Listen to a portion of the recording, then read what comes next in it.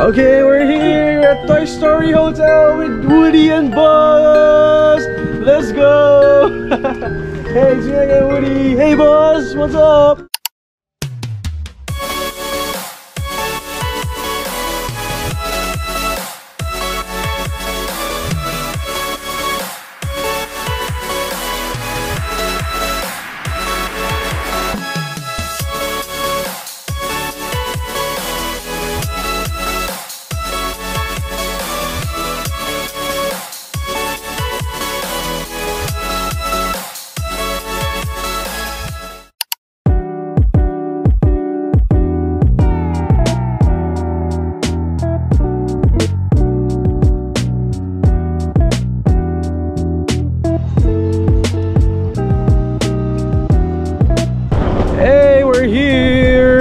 Here! So yun guys, nagtake lang kami ng shuttle from Novotel going to Disneyland. However, ang layo pala, wala pa ng ano, shuttle. I'm not sure kung wala talaga or what. So yun, according sa cast member, talagang kailangan mo siyang lakarin. From dito sa coach parking, papunta doon sa hotel. So, not sure ah, kung meron talagang, or kung wala talagang internal shuttle. Unlike sa Hong Kong Disneyland, di ba love? Parang pwede ka mag-hotel hopping from uh, Disney Park. I mean, sa Disneyland Park. Dito, ayan, lalakad ka. Hindi prepared yung ano ko. Katawang, katawang lupa namin sa paglalakad.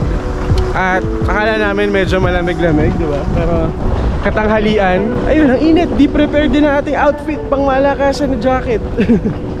Pero yun, okay lang. Part of the, ano to, experience, kumbaga.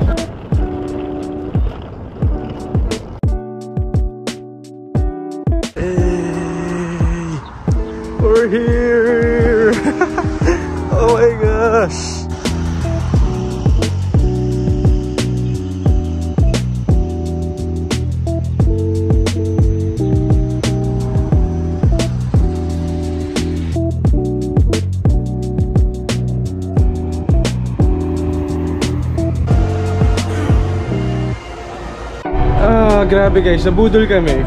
May mga coaches talaga. Sinabihan kami doon nung cast member na maglakad lang. Ang dami namin nakita ng mga coach papunta rito. Pero feeling ko kasi galing sa park yun talaga. Doon kasi kami sa parking. So parang siguro mas malapit nga naman kung lalakarin. Pero grabe. Hassle! Napatanggal ako ng jacket pero now we're here! We're finally here! I'm so excited. Mas excited ako, syempre. Kaya nga eh. Balik sa bata. Anyway, check-in lang kami guys, but we're here. This is indeed every child's dream talaga. Dahil para ka talagang nasa Toy Story movie kapag nandito ka sa hotel na to. Bonus pa na punta namin ay spring kaya may cherry blossoms din sa loob mismo ng hotel. Hindi na namin kailangan lumayo para makakita ng cherry blossoms. Sobrang surreal ng moment na to talaga. Sa labas pa lang, kitang-kita mo na kung gaano ka-awesome at kaganda ang hotel na to. At for sure, magugustuhan to ng lahat ng kids and kids at heart, lalo na kung super fan kayo ng Toy Story movies. Sa loob naman, sobrang daming murals, paintings, at wallpapers na talaga namang Toy Story inspired or themed. This is really a dream come true para sa akin na super fan ng Toy Story movies.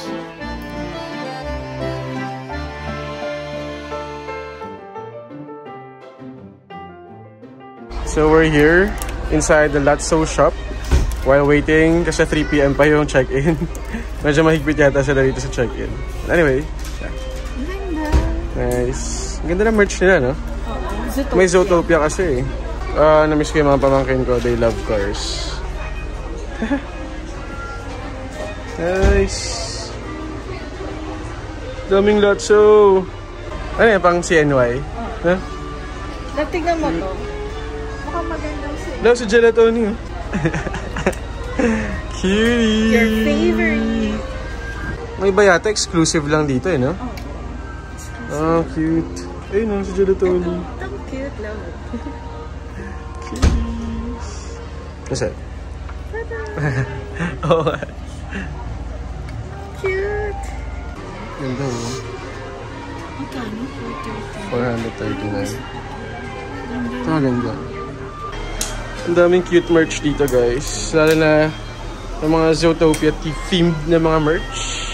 Dahil may Zootopia na theme park dito. Ay, cute yan. Si ano, Gelatoni, no? Nakatawa. Ano to cute to? Love. Ano, bilhin ba natin to? Bilhin ba natin to? Ang cute eh. 199. Thank you. Shashe. Welcome. Thank you. Bye-bye. While waiting for our check-in time, nakita namin sa labas si Woody and si Bo Peep para sa character meet and greet. Dito pa lang, sulit na experience. Dahil from time to time, may mga bumibisita na Toy Story characters para i-greet kayo. Sobrang nostalgic at sobrang sayang makabanding ang mga favorite mo na Toy Story characters. Up close and personal. Now it's time for check-in. Standard check-in time nila is 3pm. Pero kami nakapag-check-in kami ng around 2.30pm. Unlike sa Hong Kong Disneyland Hotel, sa Toy Story Hotel dito sa Shanghai, medyo strict sila sa head count because they are asking for the passport ng mga magche-check-in dun sa room. And just like any other Disney parks and hotels, pwede kayo mag-ask ng birthday pins para sa mga birthday celebrants.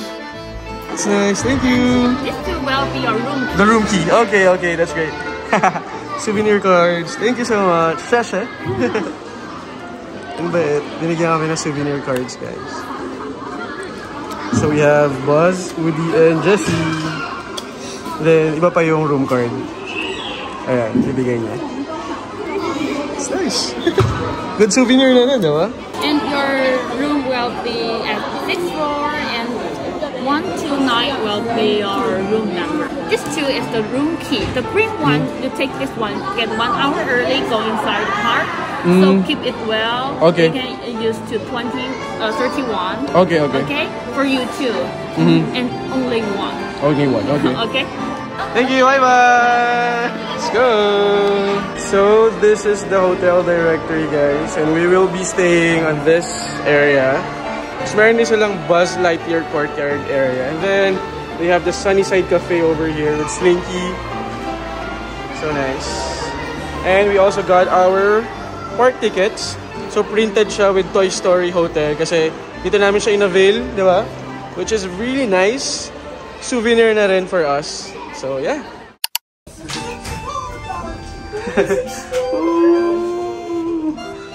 grabe kinikilabutan ako. Ang ganda. Ang sayo. Anong room natin? 1619? 16129 eh. 16168 eh. Oo nga. 16129. Let's go. Mm. Wow!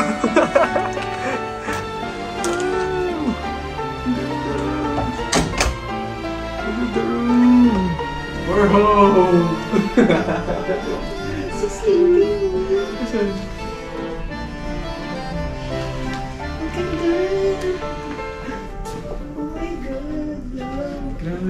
Literal na para kang nasa movie at nasa room mismo ni Andy. Pagpasok mo ng hotel room nila. Grabe yung design, yung details, kuhang-kuha lahat.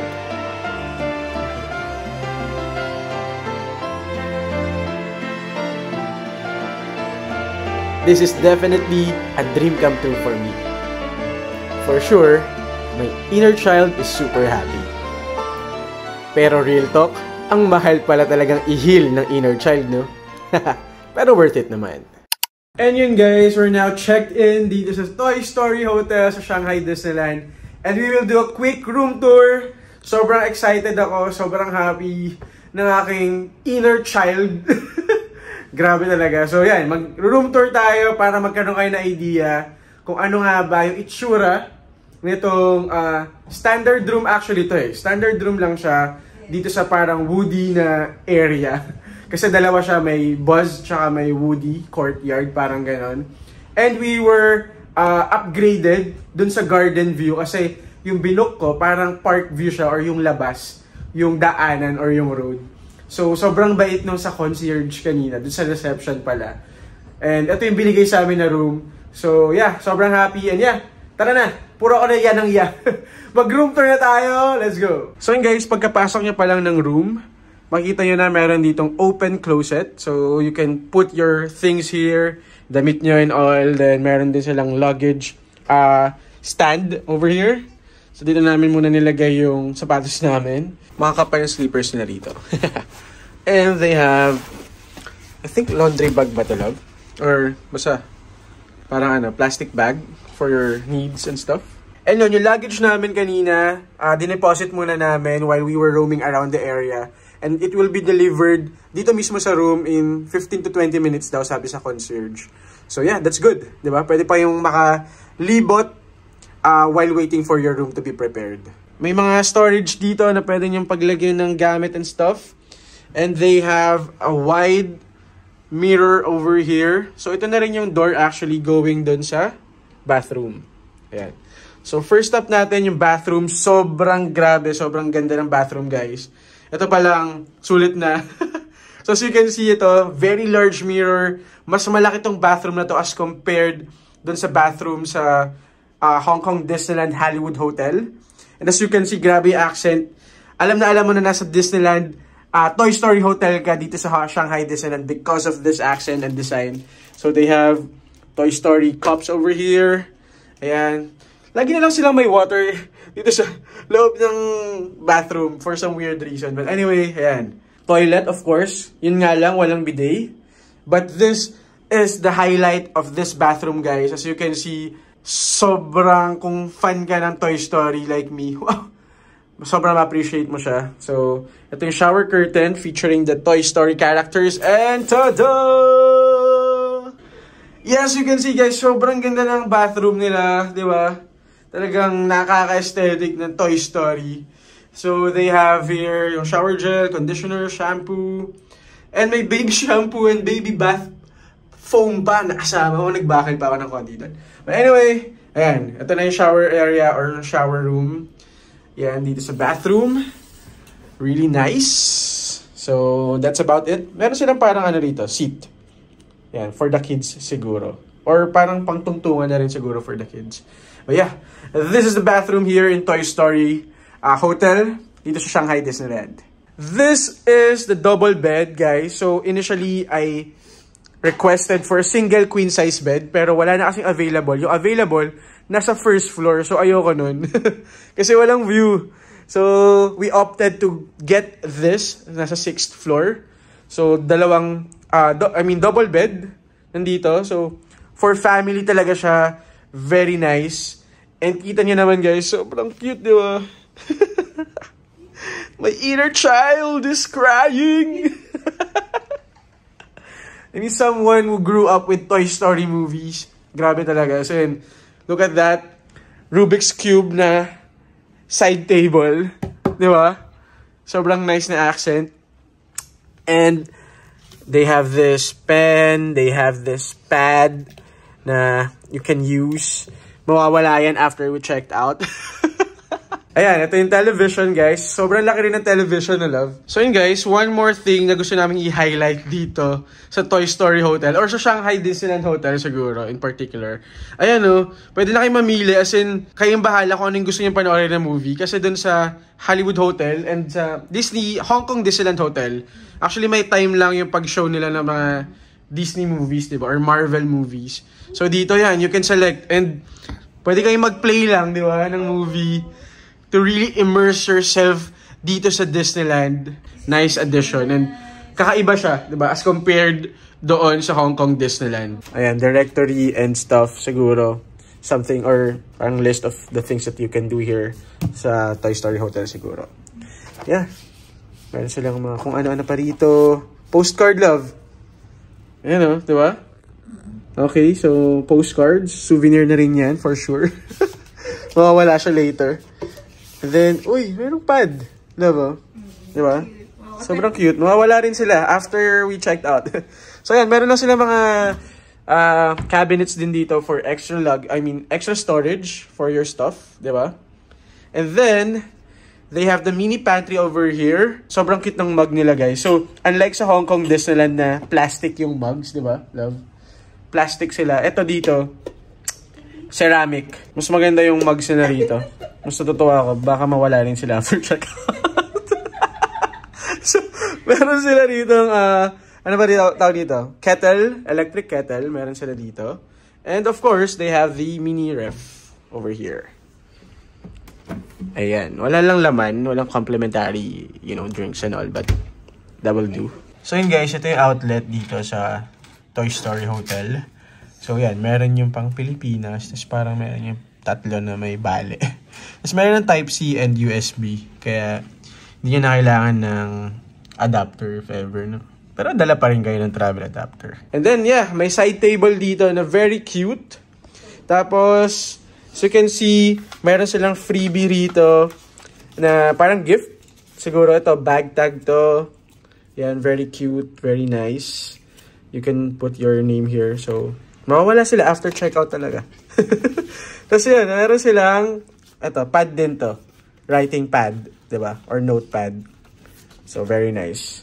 Then, we have here, Slinky Lamp. Sobrang cute nito. Ito yung pinaka-favorite ko na accent dito sa room na to. Tapos yun, grabe. As yung alien accent doon.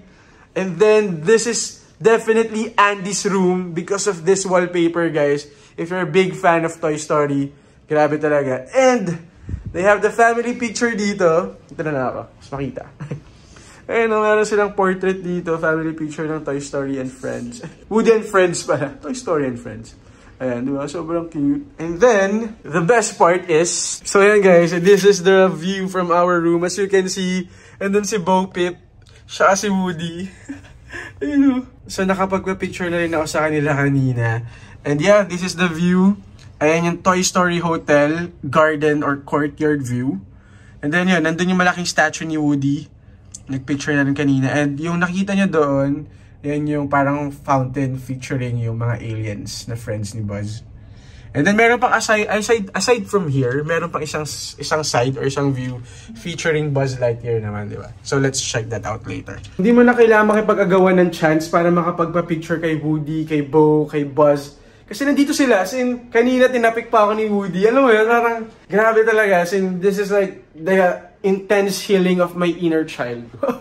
this is your best. This is the best day ever. So yun guys, that's basically it dito sa ating room tour dito sa Toy Story Hotel. Grabe as in, pinapangarap, as in, legit to guys ha. Ginugoogle ko lang siya before, kami ni Love. Nanonood lang kami ng vlog about this. Di ba, parang dream lang na kailan kaya tayo makakapag, you know, stay sa Toy Story Hotel. Kasi sa Tokyo Disneyland, or sa Tokyo, yeah, Tokyo Disneyland, mayroong Toy Story Hotel. I mean, hindi rin namin kasi inattempt talaga, no? To check na mag-book doon. And then, we learned na mayroong Toy Story Hotel din dito sa Shanghai, kaya hindi na namin pinalagpas when we decided to go here sa Shanghai. First priority talaga, Disneyland, and magstay dito sa Toy Story Hotel. So, thanks love for sharing this childhood uh, healing process. Pero grabe talaga, as in, oh, I mean, kung makikita nyo lang talaga, ewan ko, pinagtatawanan na nga ako ni Jem eh. Grabe talaga excitement ko, di ba? The moment na nag pumasok kami dito sa hotel, parang grabe lang, grabe yung, ba't ako naiyak? grabe yung childhood, as in, for someone na, you know, lumaki with the Toy Story and all, so, overwhelming na experience siya. Yun lang, emotional yan. Sobrang saya, but anyway, ililibot pa namin kayo dito sa Toy Story Hotel for this vlog, guys. Abangan nyo yan, and for now, mag-settle in lang kami, and then aalis kami. Pupunta kami sa Disney Town. Doon muna kami kakain, as in chill lang today. I-immerse lang namin at i-enjoy tong Disneyland dito sa Shanghai. Kaya, yun lang. Masaya lang. Masaya ka ba lang? masaya siya na masaya ako. So yun, settle lang kami, then libot pa tayo. We will show you more of Shanghai Disneyland dito sa vlog na to. Kaya, let's go!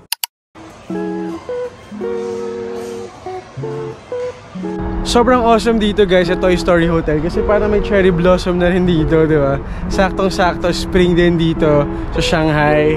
Nakaka-ellipse lang na hindi namin alam na meron ganito dito kaya okay siyang puntahan lalo kapag spring season. So yun guys, dito pa lang dami na namin pwedeng magawa, di ba? dami na namin nakita, sobrang sulit na, sobrang saya. sobrang saya talaga. sobrang saya talaga. Tapos mayroon pa nga ito, yung cherry blossom na love. Hindi na namin kailangan dumayo ng Japan. Wow! Para dito. So, saktong-sakto. But yeah, this is the view. Sobrang ganda. Ano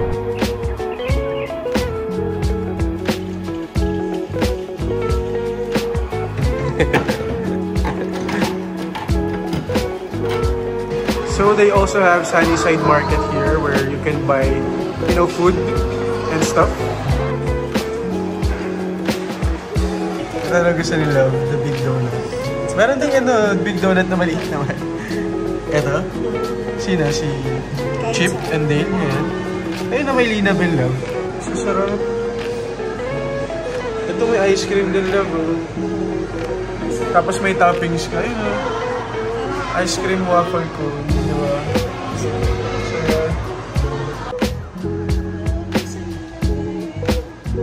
Mga chocolate bars oh. Ah, sobrang matutuwa yung mga pamangkin ko dito lang.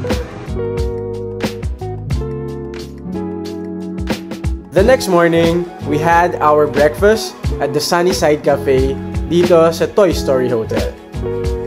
Pagpasok mo pa lang ng Sunnyside Cafe, sobrang nostalgic at sobrang awesome na. Dahil sa bawat sulok, sa ceiling, at sa lahat ng walls, all are adorned with Toy Story themed designs. Sakto lang din ang food selection dito sa Sunnyside Cafe. Meron silang dessert bar, merong Chinese food, at merong mga ilan-ilan na western food. Very high school canteen style din ang buffet dito kasi sila mismo magbibigay sa'yo ng serving na sapat lang for one meal. May policy kasi sila dito na a clean plate is a happy plate. Kaya siguro sapat lang for one person ang serving nila. Pwede pa rin naman kayo mag-request ng extra kung gusto ninyo. Taste-wise and selection-wise, sakto lang tong Sunnyside Cafe. I would still prefer yung Dragon Wind Cafe sa Disney Explorers Lodge sa Hong Kong Disneyland kasi sobrang sarap din ng mga food doon at mas maraming choices. Overall, sulit pa rin naman dahil kasama na to sa hotel booking namin. Iba talaga yung sense of fulfillment and happiness na naramdaman ko while staying here sa Toy Story Hotel. Kung may sasabihin ako sa batang JB Domingo, sabihin ko lang sa kanya na magpatuloy pa dahil balang araw, matutupad niya rin yung mga pinapangarap niya. This has been JB Domingo with Woody and Boss. Stay safe, God bless, and adios!